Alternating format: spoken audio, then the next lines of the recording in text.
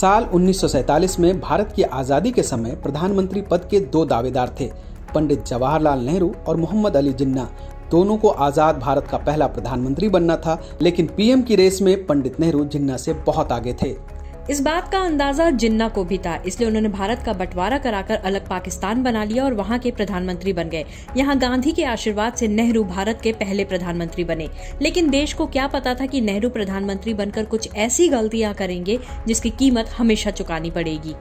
The draft के इस episode में आप पंडित जवाहरलाल नेहरू की उन पाँच गलतियों के बारे में जानेंगे, जो भारत पर आज भी भारी पड़ रही है। और ये भी जानेंगे कि इन गलतियों से अब तक हम एक देश के रूप में कितना उबर पाए हैं। नेहरू की पहली गलती, कश्मीर युद्ध में संघर्ष विराम। आज़ाद भारत में पंडित नेहरू की पहली गलती थी पाकिस्तान के साथ पहले युद्ध के दौरान जम्मू कश्मीर को संयुक्त राष्ट्र के मंच पर ले जाना। और आज आप जिस पीएके का नाम सुनते हैं, उसके पीछे का कारण कहीं न कहीं नेहरू है। पीओके का मतलब है पाकिस्तान ऑक्यूपाइड कश्मीर। और ये कहानी शुरू होती है 24 अक्टूबर 1947 को, जब जिन्ना के पाकिस्तान ने जम्मू कश्मीर पर हमला कर दिया था। उस समय जम्मू कश्मीर एक स्वतंत्र राज्य था, जिसके राजा थे हरी सिंह। जम्मू कश्मीर पर पाकिस्तान के कब्जे के डर से महाराजा हरि सिंह ने अपने राज्य का भारत में विलय करने का फैसला लिया। जिसके बाद भारतीय सेना जम्मू कश्मीर में पाकिस्तानी फौज को खदेड़ने लगी। दो तिहाई हिस्सा पाकिस्तानी कब्जे से मुक्त हो चुका था। सिर्फ़ एक तिहाई भाग बचा था। तभी भारत के प्रधानमंत्री जवाहरलाल नेहरू ने अपनी तरफ़ से संघर्ष विराम का ऐलान कर दिया। यह ऐलान तब किया गया जब भारत पूरे जम्मू कश्मीर को पाकिस्तान के कब्जे से छुड़ाने के बेहद करीब था। लेकिन संघर्ष विराम की घोषणा होते ही जो जहाँ था वहीं रुक गया। कश्मीर के ऊपर एक लाइन खींच गई, जिसे लाइन ऑफ़ कंट्रोल यानी एलओसी का नाम दिया गया। एलओसी के उस पार का हिस्सा पाकिस्तान अधिकृत कश्मीर हो गया, जिसे पीओके कहते हैं, और पाकिस्तान उसे आज़ाद कश्मीर कहता है। इस तरह से कश्मीर के एक तिहाई भाग पर पाकिस्तान का कब्जा हो गया। ये कसक अब भी हर भारतीय को सालती है, क्योंकि कश्मीर का वो हिस्सा अब भी पाकिस्तान के कब्जे में ही है। अगर नेहरू ने उस दिन संघर्ष विराम की घोषणा ना की होती तो कश्मीर के एक हिस्से पर पाकिस्तान का कब्जा नहीं हुआ होता और न ही भारत को सीमा पार से आतंकवाद और घुसपैठ का सामना करना पड़ता। नेहरू की दूसरी गलती, संयुक्त राष्ट्र में कश्मीर का मुद्दा ले जाना। पंडित नेहरू ने हिंदुस्तान की आज़ादी के 150 दिनों के अंदर दो ऐसे फैसले लिए जिसका खामियाजा कश्मीर और पूरा भारत अब तक भुगत रहा है। पहला फैसला संघर्ष विराम का, दूसरा फैसला कश्मीर में यूनाइटेड नेशंस की निगरानी में जनमत संग्रह कराने का। 2 नवंबर 1947 को ऑल इंडिया रेडियो पर नेहरू ने कश्मीर में संयुक्त राष्ट्र की देखरेख में जनमत संग्रह कराने की घोषणा की। जनमत संग्रह का मतलब ये था कि जम्मू कश्मीर की जनता से राय ली जाती कि वो भारत में रहना चाहते हैं या पाकिस्तान के साथ जाना चाहते हैं। जनमत संग्रह के परिणाम पर संयुक्त राष्ट्र अपना फैसला सुनाता। पंडित नेहरू के जनमत संग्रह के ऐलान के बाद से संयुक्त राष्ट्र में कश्मीर का मुद्दा उठाया जाने लगा। इसे एक अंतर्राष्ट्रीय मुद्दा बनाया जाने लगा, जबकि भारत ये कहता है कि कश्मीर भारत का अभिन्न अंग है और ये मुद्दा सिर्फ़ भारत और पाकिस्तान के बीच का मुद्दा है। इसमें किसी तीसरे देश के हस्तक्षेप की ज़रूरत नहीं है। कहा जाता है कि आज़ाद भारत के पहले गवर्नर जनरल लॉर्ड माउंटबेटन, जिन्होंने भारत का बंटवारा कराया, उन्होंने ही नेहरू को कश्मीर को संयुक्त राष्ट्र ले जाने और संघर्ष विराम करने की सलाह दी थी।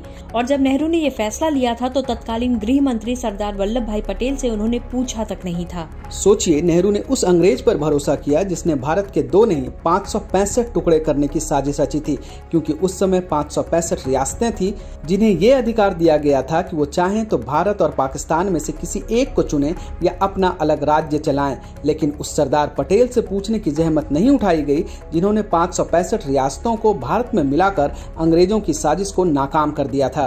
नेहरू की तीसरी गलती। जम्मू कश्मीर को अनुच्छेद 370 का तोहफा देना। पंडित नेहरू की तीसरी गलती थी जम्मू कश्मीर को अनुच्छेद 370 का विशेष अधिकार देना, जो देश की एकजुटता को प्रभावित करने वाला साबित हुआ, जिसकी वजह से एक देश में दो झंडे और दो विधान बन गए, जिसकी वजह से अलगाववाद पैदा हुआ। साल 1948 की बात है। भारत अपना संविधान लिखने में जुटा था। जम्मू कश्मीर के सबसे बड़े लीडर और पंडित नेहरू के जिगरी दोस्त शेख अब्दुल्ला चाहते थे कि संविधान में ऐसी व्यवस्था बने जिससे जम्मू कश्मीर को विशेष अधिकार मिल सके। इसके लिए शेख अब्दुल्ला खुद संविधान सभा की टीम में जगह बनाना चाहते थे और नेहरू ने उनकी ये चाहत पूरी कर दी। शेख अब्दुल्ला जम्मू कश्मीर को विशेष दर्जा देने की मांग पर अड़ गए। उन्होंने कहा, अनुच्छेद 370 दीजिए, अलग झंडा और अलग विधान दीजिए। नेहरू की देशभक्ति पर दोस्ती भारी पड़ने लगी थी। लेकिन बाबा भीमराव आंबेडकर और सरदार वल्लभ भाई पटेल ने शेख अब्दुल्ला की मांग का विरोध किया। उन्होंने कहा कि जब भारत एक है और जम्मू कश्मीर भारत का अभिन्न अंग है तो फिर अलग झंडा और अलग कानून की क्या ज़रूरत है? लेकिन नेहरू ने पीएम वाला वीटो लगाकर शेख अब्दुल्ला की 370 वाली उम्मीद पूरी कर दी और कुछ सालों बाद अनुच्छेद 370 में धारा 35 ए भी जोड़ दी गई। इस प्रावधान में एक विवादित बात ये थी कि अगर जम्मू कश्मीर की लड़की किसी पाकिस्तानी नागरिक से शादी करती तो उस पाकिस्तानी व्यक्ति को भी भारत की नागरिकता मिल जाती। लेकिन जम्मू कश्मीर की कोई लड़की अगर भारत के किसी दूसरे राज्य के लड़के से शादी करती तो कश्मीर में उस लड़की के सारे अधिकार छीन लिए जाते। रक्षा, विदेश, वित्तीय और संचार के मामलों के अलावा भारत का कोई भी कानून जम्मू कश्मीर पर लागू नहीं हो सकता था। इसका परिणाम ये हुआ कि जम्मू कश्मीर में अलगाववाद और आतंकवाद बढ़ता चला गया। हिंदू आबादी कम होती गई। धरती का स्वर्ग होकर भी कश्मीर लगातार पिछड़ता चला गया। लेकिन किसे पता था कि 20वीं सदी की गलती 21वीं सदी में सुधारी जाएगी? 5 अगस्त 2019 को प्रधानमंत्री नरेंद्र मोदी की सरकार ने जम्मू कश्मीर से अनुच्छेद 370 को हटा दिया। नेहरू की चौथी गलती यूएनएससी की स्थायी सदस्यता चीन को दी। बात साल उन्नीस की है। अमेरिका ने भारत को संयुक्त राष्ट्र सुरक्षा परिषद यानी यूएनएससी में स्थायी सदस्य बनने का ऑफ़र दिया था। यूएनएससी में पाँच स्थायी सदस्य होते। चार देश थे, अमेरिका, रूस, ब्रिटेन और फ्रांस। पाँचवें देश के तौर पर अमेरिका चाहता था कि भारत रहे। लेकिन तत्कालीन प्रधानमंत्री जवाहरलाल नेहरू ने अमेरिका के प्रस्ताव को खारिज कर दिया और उसे मुफ़्त में सलाह दे दी कि ये जगह चीन को दी जाए। इस बात का ज़िक्र कांग्रेस के सांसद और पूर्व केंद्रीय मंत्री शशि थरूर ने अपनी किताब Nehru the invention of India में भी किया है। यूएन में एक राजनयिक के तौर पर काम कर चुके शशि थरूर ने लिखा है कि भारत के कई कूटनीतिज्ञों ने वो फ़ाइल देखी थी और दावा किया था कि अमेरिका ने जवाहरलाल नेहरू को संयुक्त राष्ट्र सुरक्षा परिषद में भारत की स्थायी सदस्यता का प्रस्ताव दिया था, जिसे उन्होंने ठुकरा दिया। पंडित नेहरू का मानना था कि चीन भारत से बड़ा देश है और संयुक्त राष्ट्र के स्थायी सदस्यों में उसका होना भारत से ज़्यादा ज़रूरी है। नेहरू ने उस दौरान दुनिया के कई देशों को चीन का समर्थन करने के लिए मनाया और इस तरह चीन, अमेरिका, ब्रिटेन, रूस और फ्रांस के साथ संयुक्त राष्ट्र सुरक्षा परिषद का स्थायी सदस्य बना। और भारत अब भी यूएनएससी में स्थायी सदस्य बनने के लिए हाथ पैर मार रहा है, लेकिन उसकी कोशिश कामयाब नहीं हो पाई है। और जो चीन नेहरू की कृपा से यूएनएससी में स्थायी सदस्य बना वही चीन अब भारत को स्थायी सदस्य बनने से रोक रहा है। नेहरू की पांचवी गलती, चीन पर भरोसे का अंजाम, उन्नीस सौ बासठ का युद्ध। भारत ने आज़ादी के बाद से अब तक कुल पाँच युद्ध लड़े हैं। चार जीते और जिस एक युद्ध में हार मिली, वो चीन से हुआ उन्नीस सौ बासठ का युद्ध है। उस वक्त भी भारत के प्रधानमंत्री जवाहरलाल नेहरू ही थे। नेहरू को चीन पर काफ़ी यकीन था। 28 अप्रैल उन्नीस को भारत और चीन के बीच पंजाब के नंगल में पंचशील समझौता हुआ था। तब चीन के प्रधानमंत्री चाउ एन लाई भारत के दौरे पर आए थे। माना जाता है कि उन्नीस के पंचशील समझौते के बाद ही हिंदी चीनी भाई भाई का नारा दिया गया। इस समझौते में दोनों देशों को पाँच बातें माननी थी। उनमें से एक बात ये थी कि भारत और चीन एक दूसरे की अखंडता का सम्मान करेंगे, यानी कि एक दूसरे की ज़मीन पर कब्जा करने की कोशिश नहीं करेंगे। नेहरू ने सोचा कि चीन पंचशील के नियमों से बंधा है, वो कभी भारत की ज़मीन पर बुरी नज़र नहीं डालेगा। लेकिन साल 1960-61 में चीन ने भारत की अक्साई चिन्ह में सड़क बना लिया। जब ये बात नेहरू को बताई गई तो उन्होंने अपने लोगों पर ही भरोसा नहीं किया।